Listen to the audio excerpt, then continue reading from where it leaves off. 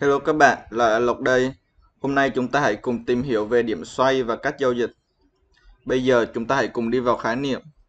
Điểm xoay là một chỉ báo phân tích kỹ thuật được sử dụng rộng rãi trong thị trường giao dịch chứng khoán.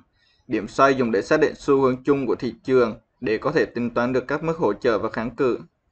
Vậy đặc điểm của nó là gì? Điểm xoay là trung bình của giá cao nhất, giá thấp nhất và giá đóng cửa của phiên giao dịch trước đó. Về cơ bản, điểm xoay chính là giá có thể đạt được đến ngược kháng cự hoặc hỗ trợ, rồi sau đó có xu hướng đảo chiều và ngược lại. Bây giờ chúng ta hãy cùng xác định mức kháng cự và hỗ trợ cơ bản dựa theo điểm xoay. Một Xác định kháng cự. Mức kháng cự thứ nhất được tính theo công thức sau đây. Trong đó, R1 là mức kháng cự thứ nhất. PP là vị trí từ điểm xoay.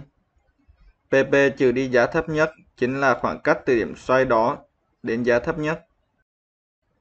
2. Xác định mức hỗ trợ. Mức hỗ trợ được tính theo công thức dưới đây. Trong đó, S1 là mức hỗ trợ đầu tiên. PP chính là điểm xoay. Giá cao nhất trừ đi PP chính là khoảng cách từ giá cao nhất đến điểm xoay. Giao dịch theo điểm xoay.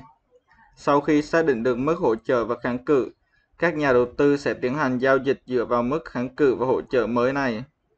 Có hai cách giao dịch cơ bản và phổ biến đó là Cách 1. Giao dịch tại mức kháng cự và hỗ trợ.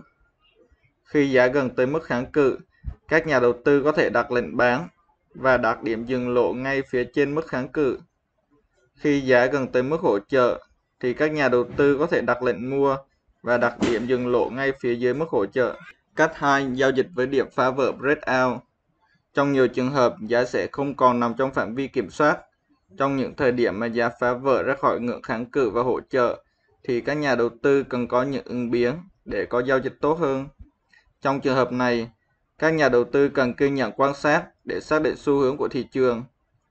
Các nhà đầu tư nên đặt lệnh bán khi giá phá vỡ và đi xuống, và ngược lại, mua khi giá phá vỡ và đi lên. Lệnh dừng lỗ nên được đặt ở đáy hoặc đỉnh trước ngay trước điểm phá vỡ.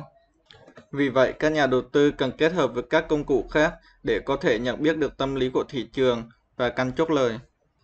Ok, đây chính là chuỗi video về phân tích kỹ thuật, hy vọng sẽ giúp ích được cho anh chị trong thời gian sắp tới. Nếu thấy hay và bổ ích thì đừng quên cho Lộc một nút đăng ký và like để đón chờ những video sắp tới. Ok, video của Lộc đến đây là hết rồi. Chúc anh chị giao dịch thành công.